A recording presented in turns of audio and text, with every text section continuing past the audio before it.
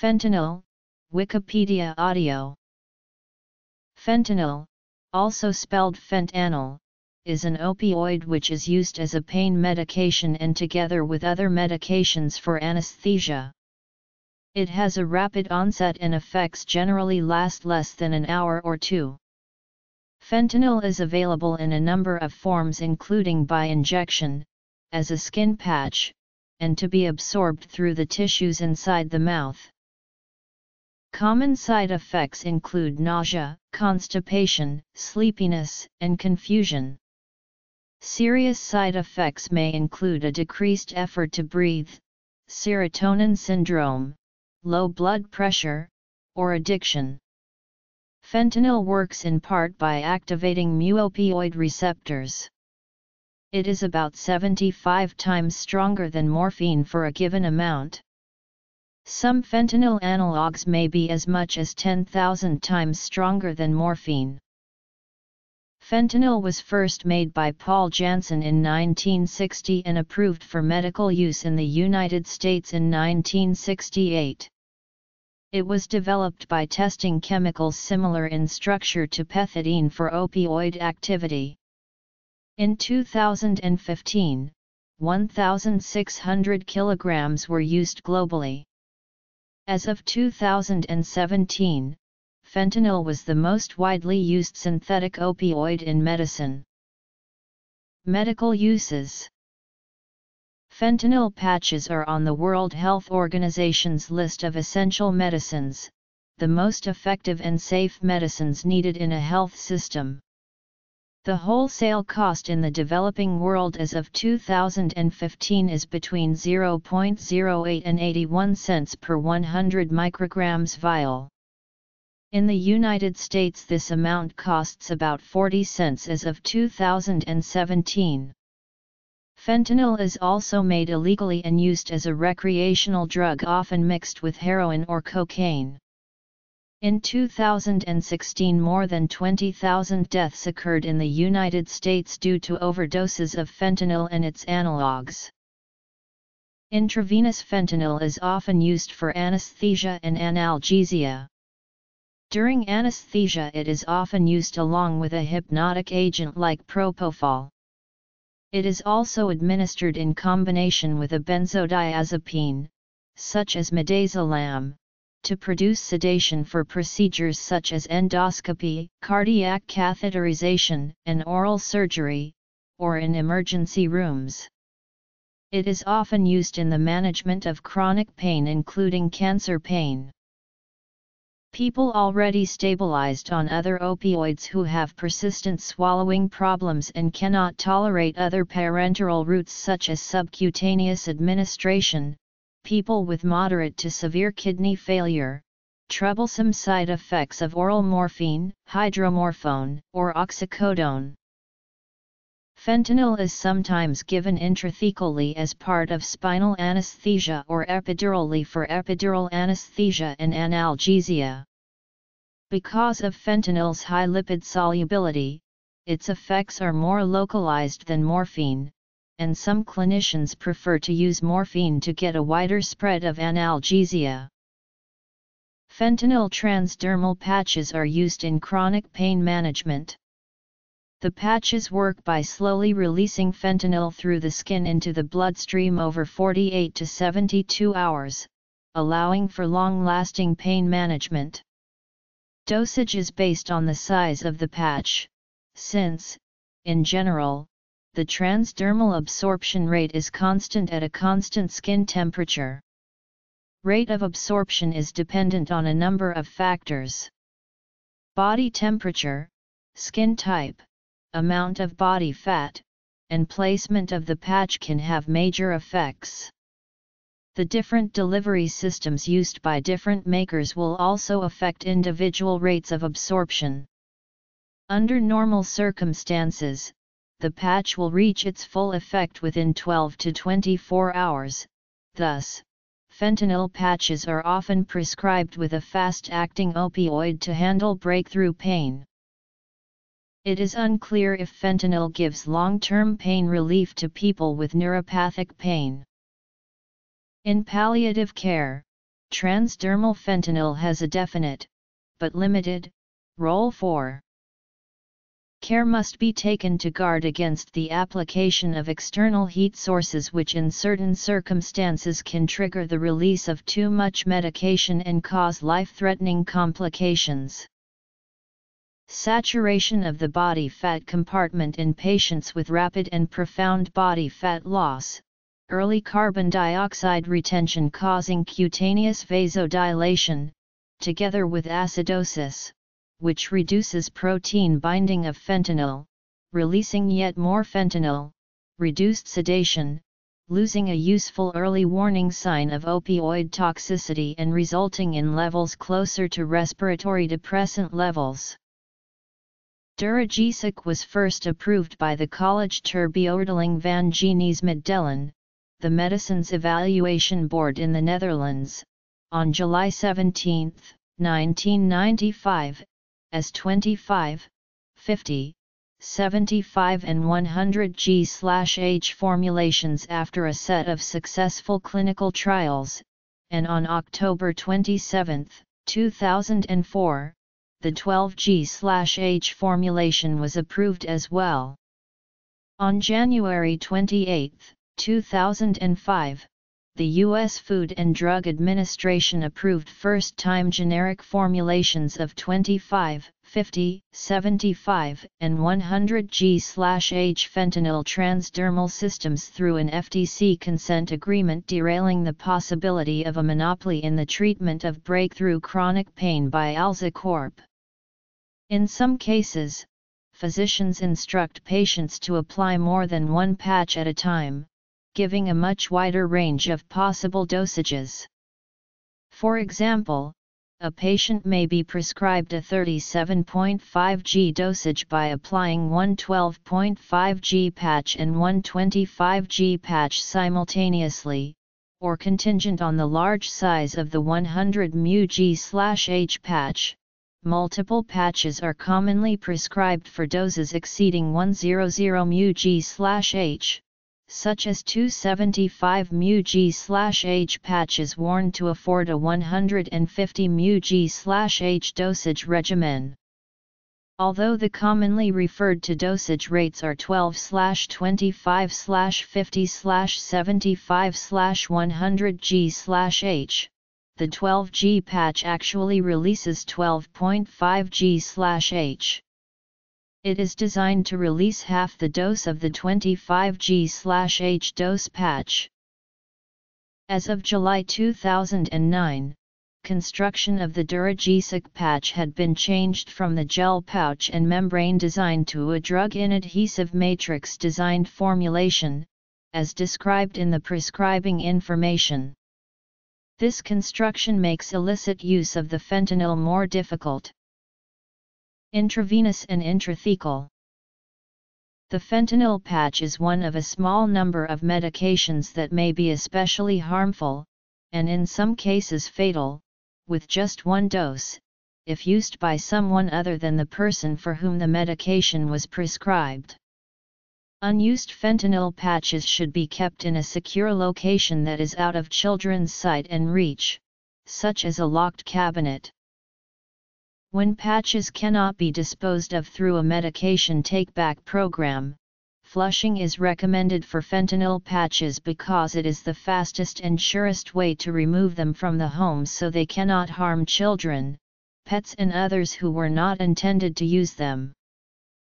In February 2004, a leading fentanyl supplier, Janssen Pharmaceutica Products, LP, recalled one lot, and then later, additional lots of fentanyl patches because of seal breaches which might have allowed the medication to leak from the patch. A series of Class II recalls was initiated in March 2004, and in February 2008 Alza Corporation recalled their 25G/H Duragesic patches due to a concern that small cuts in the gel reservoir could result in accidental exposure of patients or healthcare providers to the fentanyl gel. In February 2011, the manufacturer suspended production of all Duragesic patches due to quality control issues involving unspecified microscopic crystallization detected during the manufacturing process of the 100G/H strength. The bioavailability of intranasal fentanyl is about 70-90%, but with some imprecision due to clotted nostrils, pharyngeal swallow, and incorrect administration. For both emergency and palliative use, intranasal fentanyl is available in doses of 50, 100, and 200 g. In emergency medicine, safe administration of intranasal fentanyl with a low rate of side effects and a promising pain-reducing effect was demonstrated in a prospective observational study in about 900 out-of-hospital patients. In children, Intranasal fentanyl is useful for the treatment of moderate and severe pain and is well tolerated. Abstral dissolves quickly and is absorbed through the sublingual mucosa to provide rapid analgesia. Fentanyl is a highly lipophilic compound, which is well absorbed sublingually and generally well tolerated. Such forms are particularly useful for breakthrough cancer pain episodes, which are often rapid in onset, short in duration and severe in intensity. Patches Storage and disposal Fentanyl lozenges are a solid formulation of fentanyl citrate on a stick in the form of a lollipop that dissolves slowly in the mouth for transmucosal absorption. These lozenges are intended for opioid-tolerant individuals and are effective in treating breakthrough cancer pain. It has also been used for breakthrough pain for patients with non-malignant pain, but this application is controversial. The unit is a berry-flavored lozenge on a stick swabbed on the mucosal surfaces inside the mouth inside of the cheeks, under and on the tongue and gums to release the fentanyl quickly into the system. It is most effective when the lozenge is consumed within 15 minutes. About 25% of the medication is absorbed through the oral mucosa, resulting in a fast onset of action, and the rest is swallowed and absorbed in the small intestine, acting more slowly. The lozenge is less effective and acts more slowly if swallowed as a whole, as despite good absorbance from the small intestine there is extensive first-pass metabolism, leading to an oral bioavailability of about 33% as opposed to 50% when used correctly. Recalls. Intranasal. Sublingual. Lozenges. Other Actiq is produced by the pharmaceutical company Cephalon on a plastic stick, this provides the means by which the medication can maintain its placement while it dissolves slowly in the mouth for absorption across the buccal mucosa, in a manner similar to sublingual buprenorphine slash naloxone film strips. An Actiq lozenge contains 2 grams of sugar. Actiq has been linked to dental decay, with some users who had no prior dental issues suffering tooth loss, and in the US many users have started their own Facebook pages to educate users about the severe dental issues caused by the so-called fentanyl lollipops. CBS News reported the issue September 28, 2009. The status of a sugar-free version, called Actiq SF, is unclear. Since the release of Fentora an effervescent buccal fentanyl tablet for breakthrough cancer pain Cephalon has indefinitely postponed plans to release a sugar-free version of Actiq. Beginning late September 2006, a generic oral transmucosal fentanyl citrate has been available, made by Barr Pharmaceuticals. The United States Air Force Pararescue and Swedish Armed Forces combat medics utilize lollipops with fentanyl. Navy corpsmen working with the United States Marine Corps in Afghanistan use fentanyl lollipops on combat casualties from IED blasts and other mechanisms of injury. The lollipop is taped to the casualty's finger and inserted in between the teeth and cheek of the patient. When enough of the medication has been absorbed the finger will generally fall from the patient's mouth, thereby indicating that the medication has become effectively administered. Adverse effects Some preparations such as nasal sprays and inhalers may result in a rapid response, but the fast onset of high blood levels may compromise safety. In addition, the expense of some of these appliances may greatly reduce their cost effectiveness. In children it is unclear if intranasal fentanyl is as good as or the same as morphine. A fentanyl patient-controlled transdermal system is under development, which aims to allow patients to control administration of fentanyl through the skin during the treatment of perioperative pain. Fentanyl's most common side effects include diarrhea, nausea, constipation, dry mouth, somnolence, confusion, asthenia, sweating, and less frequently abdominal pain, headache, fatigue, anorexia, and weight loss, dizziness, nervousness, hallucinations, anxiety, depression, flu-like symptoms, dyspepsia, shortness of breath, hypoventilation, apnea, and urinary retention. Fentanyl use has also been associated with aphasia.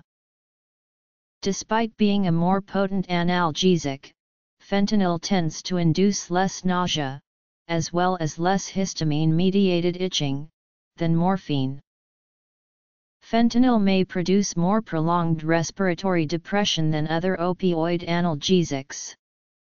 In 2006 the U.S. Food and Drug Administration began investigating several respiratory deaths, but doctors in the United Kingdom were not warned of the risks with fentanyl until September 2008. The FDA reported in April 2012 that 12 young children had died and 12 more made seriously ill from separate accidental exposures to fentanyl skin patches.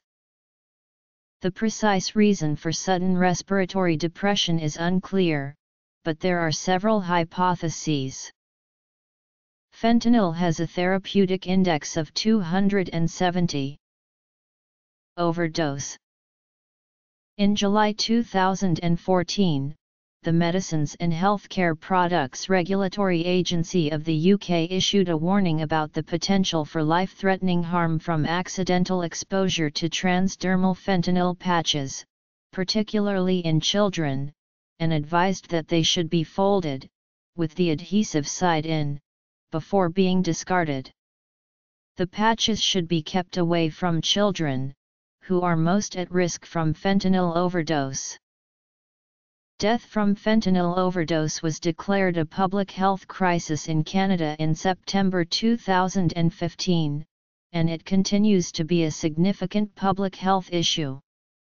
In 2016, deaths from fatal fentanyl overdoses in British Columbia, Canada, averaged two persons per day.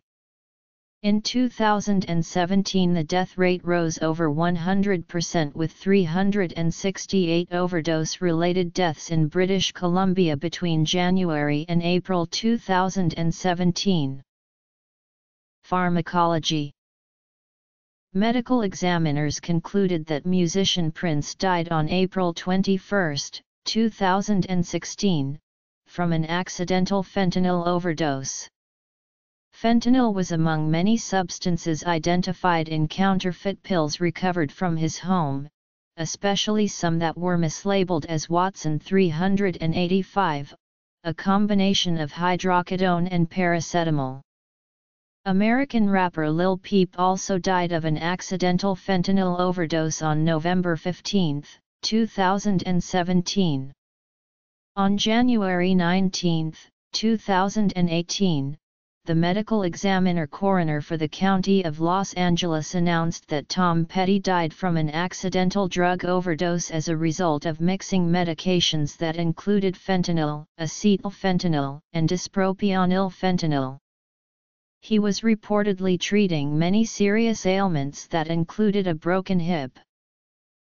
In the US, fentanyl caused 20,100 deaths in 2016, a rise of 540% over the past three years. Detection in biological fluids. History Society and culture Fentanyl provides some of the effects typical of other opioids through its agonism of the opioid receptors. Its strong potency in relation to that of morphine is largely due to its high lipophilicity, per the Meyer-Overton correlation.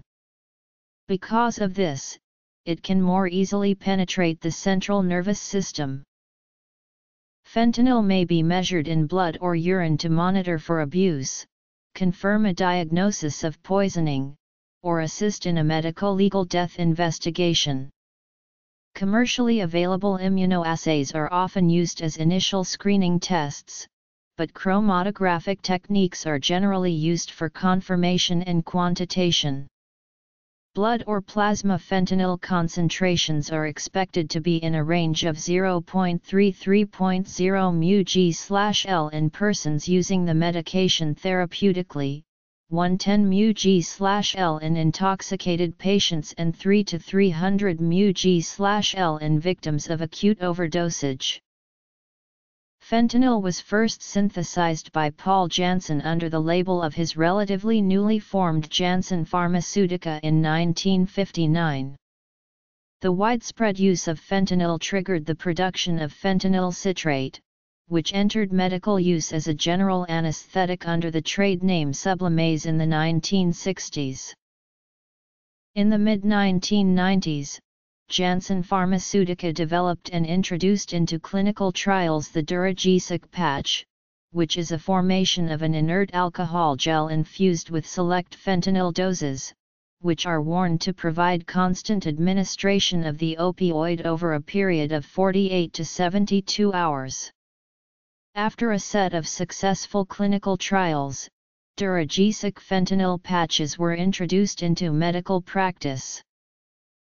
Following the patch, a flavored lollipop of fentanyl citrate mixed with inert fillers was introduced in 1998 under the brand name of Actiq, becoming the first quick-acting formation of fentanyl for use with chronic breakthrough pain.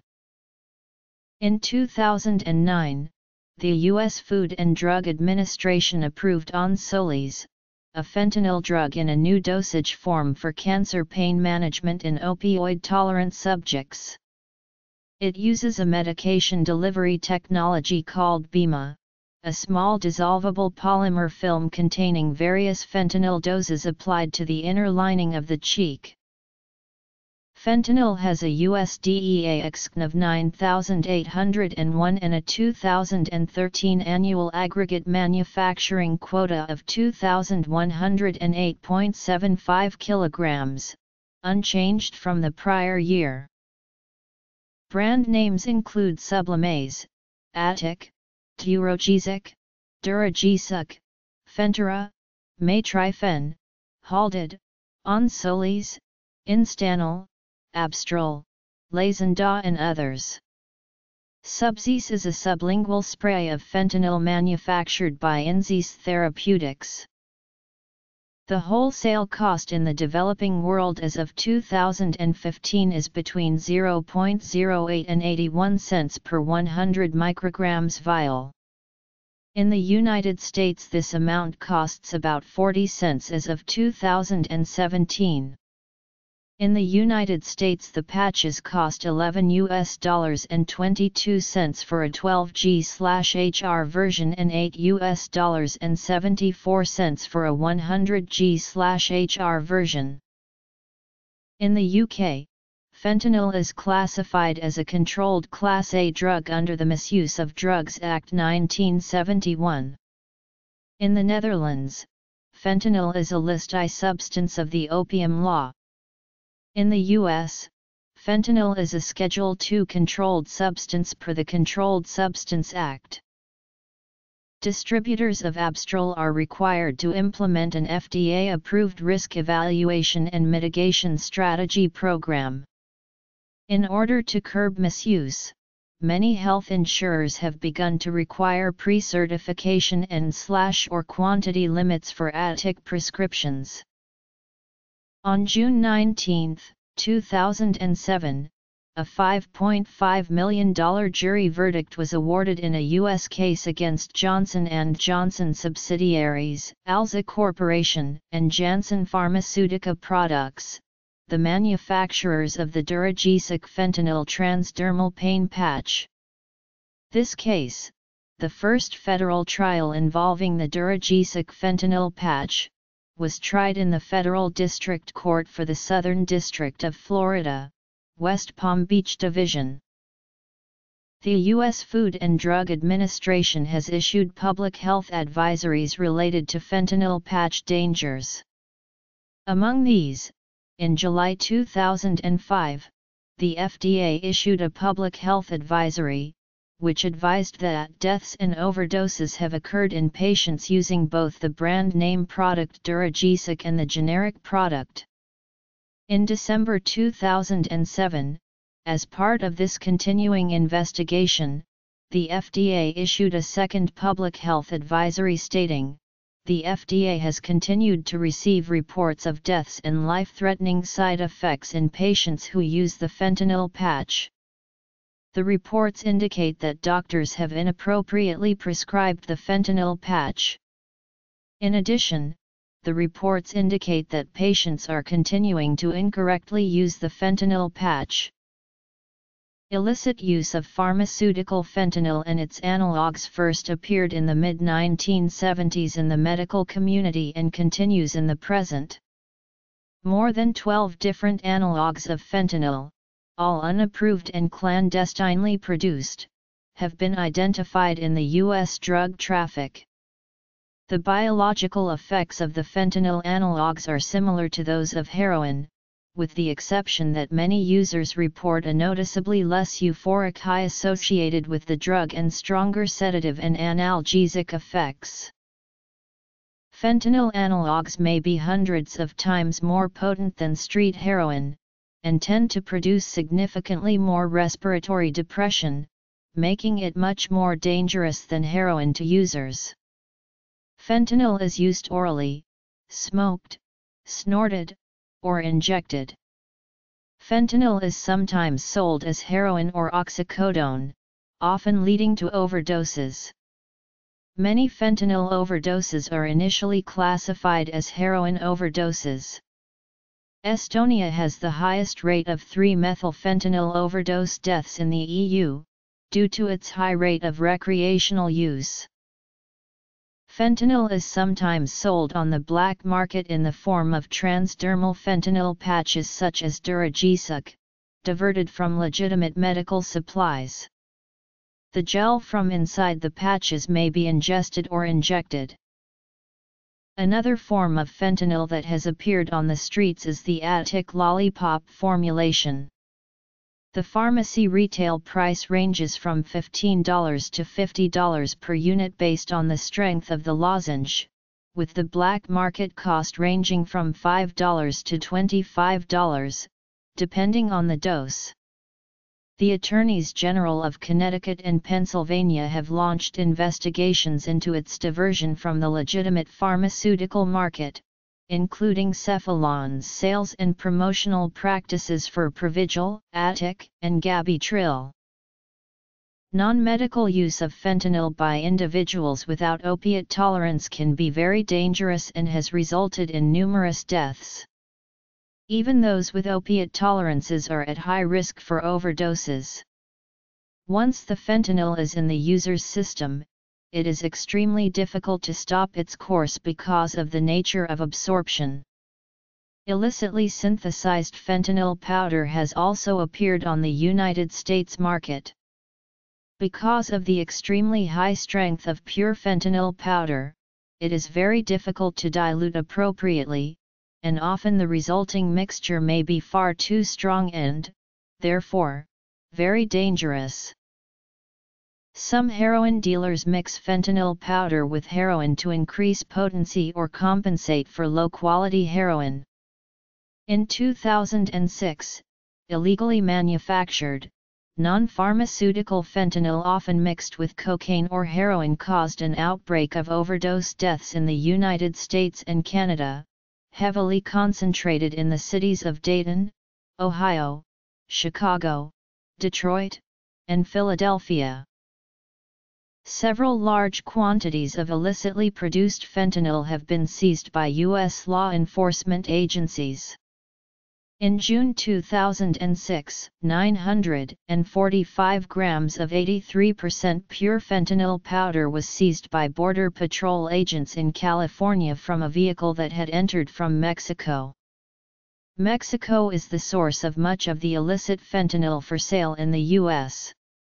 However, in April 2006, there was one domestic fentanyl lab discovered by law enforcement in Azusa, California. The lab was a source of counterfeit 80 mg OxyContin tablets containing fentanyl instead of oxycodone, as well as bulk fentanyl and other drugs. In November 2016, the DEA uncovered an operation making counterfeit oxycodone and Xanax from a home in Cottonwood Heights, Utah. They found about 70,000 pills in the appearance of oxycodone and more than 25,000 in the appearance of Xanax. The DEA reported that millions of pills could have been distributed from this location over the course of time. The accused owned a pill press and ordered fentanyl in powder form from China. The China white form of fentanyl refers to any of a number of clandestinely produced analogues, especially alpha-methylfentanyl. This Department of Justice document lists China white as a synonym for a number of fentanyl analogues, including 3-methylfentanyl and alpha-methylfentanyl, which today are classified as Schedule I drugs in the United States. Part of the motivation for AMF is that, despite the extra difficulty from a synthetic standpoint, the resultant drug is relatively more resistant to metabolic degradation. This results in a drug with an increased duration. In June 2013, the United States Centers for Disease Control and Prevention issued a health advisory to emergency departments alerting to 14 overdose deaths among intravenous drug users in Rhode Island associated with acetylfentanyl, a synthetic opioid analog of fentanyl that has never been licensed for medical use.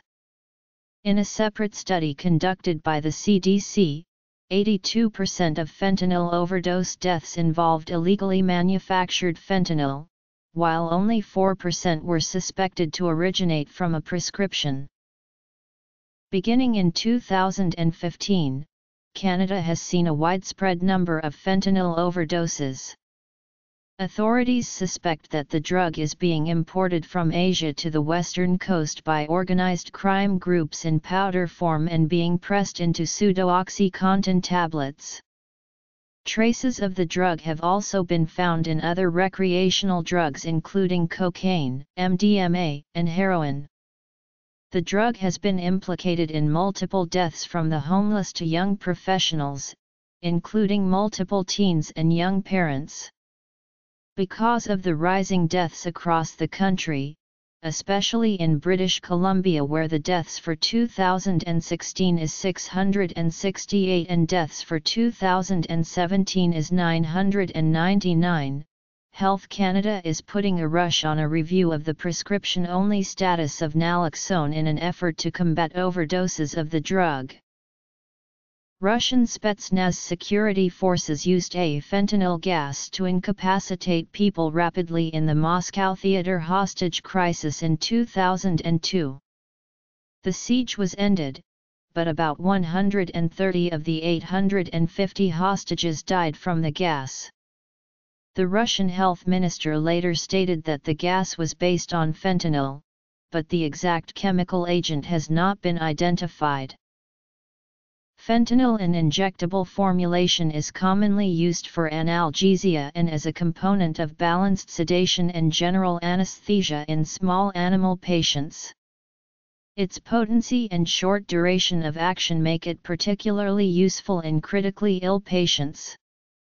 In addition, it tends to cause less vomiting and regurgitation than other pure opioid agonists when given as a continuous post-operative infusion. As with other pure opioids, fentanyl can be associated with dysphoria in both dogs and cats. Transdermal fentanyl has also been used for many years in dogs and cats for post-operative analgesia. This is usually done with off-label fentanyl patches manufactured for humans with chronic pain. In 2012 a highly concentrated transdermal solution, trade name Recuvyra, has become commercially available for dogs only. It is FDA approved to provide 4 days of analgesia after a single application prior to surgery. It is not approved for multiple doses or other species. The drug is also approved in Europe. Brand names Cost Legal status Legal action. Public health advisories. Recreational use. Incapacitating agent.